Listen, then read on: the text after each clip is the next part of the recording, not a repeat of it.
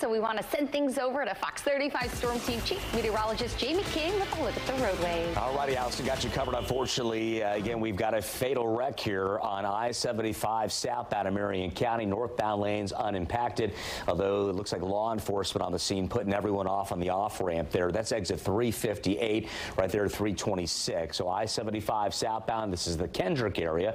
Here's Martel, US 27, Ocala here, Northwest 27th Ave. Just for some reference to let you know where this is. And there's the town of Martin there. So you can see I-75 slow and go as everyone is again being rerouted. Law enforcement on the scene directing traffic to the off-ramp there at mile marker 358 at this time. As we take a closer look around the metro right now, this is over near the Lake Mary area. There's a Lake Mary Heathrow exit, uh, the off-ramp here for you. The signage there one mile away and gives us a good indicator of what's happening on that stretch. And it isn't much at this time. My current drive times right now, taking a look at westbound lanes of 4 from 436 on down the Ivanhoe Boulevard. Looking good. Not normal, right? We got the holiday light going on, so it looks as though we're at six minutes of drive time here currently for you.